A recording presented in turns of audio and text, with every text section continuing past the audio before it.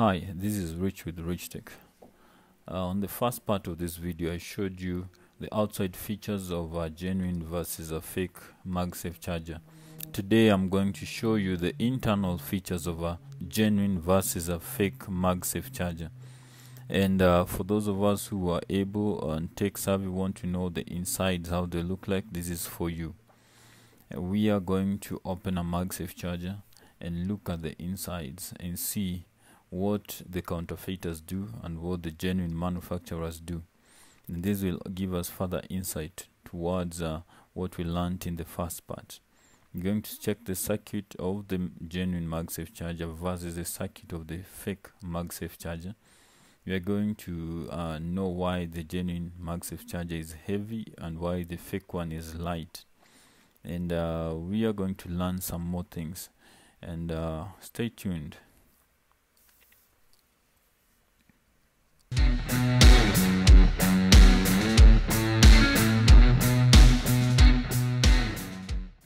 The point where the charger wires join the charger board itself. There is a joint made of rubber and plastic, and these are manufactured as one piece together with the cables in a genuine charger. But in a fake charger, the rubber junction is separate from the wire. In other words, you can slide the wire in and out of it, and there is no plastic material at the end, at the back of this rubber material. So this is an, a big differentiator of the genuine versus fake. Another differentiator is the wires themselves. The wires of the genuine chargers are silverish in color, while the wires in a fake charger are copperish. One of them may be copper and the other one uh, silverish, or both of them are copper, uh, in uh, copper colored or reddish color in a fake charger. That is. So beware and be on the lookout for this. Uh, the other point uh, is uh, I want to point out to you is where the wires join the circuit board of the charger itself. At this point, if it's a fake charger, the wires are just pushed into the circuit board as soldered. A bit of solder is put there so that uh, it can do and perform its work for a short function, a short time. But in a genuine charger, the manufacturer has put in a lot of work. As you can see, the insulation is there supports for this uh, point is there so that these don't break off easily. And of course you can start seeing a bit of the circuit, uh, circuitry of the genuine versus the fake charger we are going to go into this uh, later into this video. But I wanted to point out to you another thing I brought up in the last video. We talked about the weight of your charger. The your charger should feel like it's heavy. You should feel its weight. Let me explain. Uh, genuine charges are generally heavier than counterfeit charges.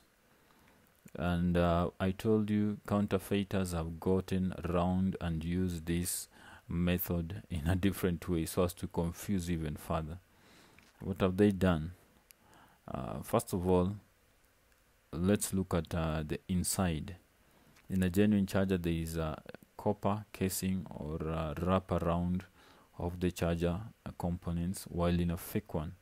There is just a metallic iron or steel wrap around with holes inside. This is to save the counterfeiter some money so that it doesn't use a lot of metal and incur a lot of costs.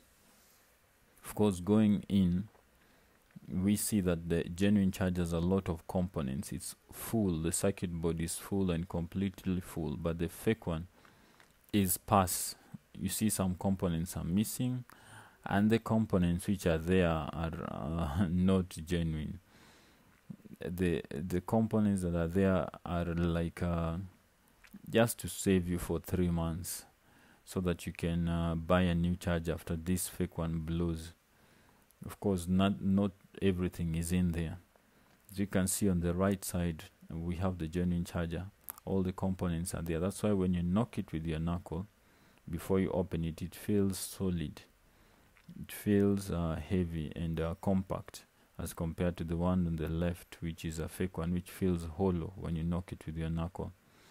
Of course if all the components are there then the back of the circuit of your genuine charger will have a lot of uh, or complex uh, uh, it will be complex as the one which is on the right side.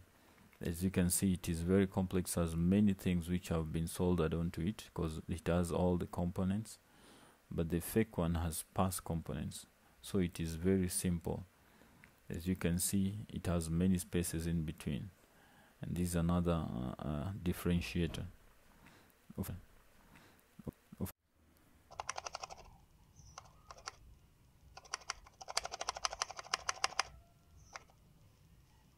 You remember that sound. Why did we have that shaking sound inside? Counterfeiters have realized that you are bound to notice the weight of your charger if it's light. So what they do they do?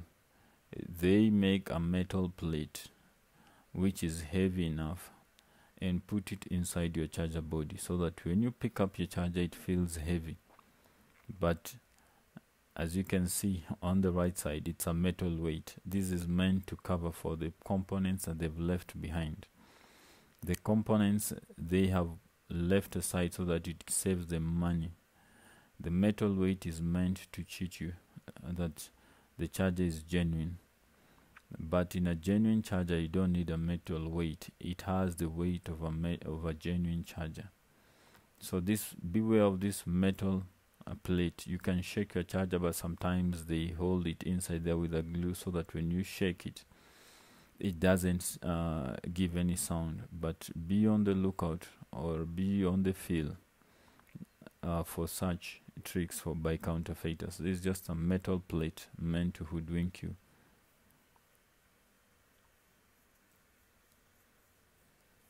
Now opening up your charger itself inside you can see that the fake one still has very many heavy steel components put inside.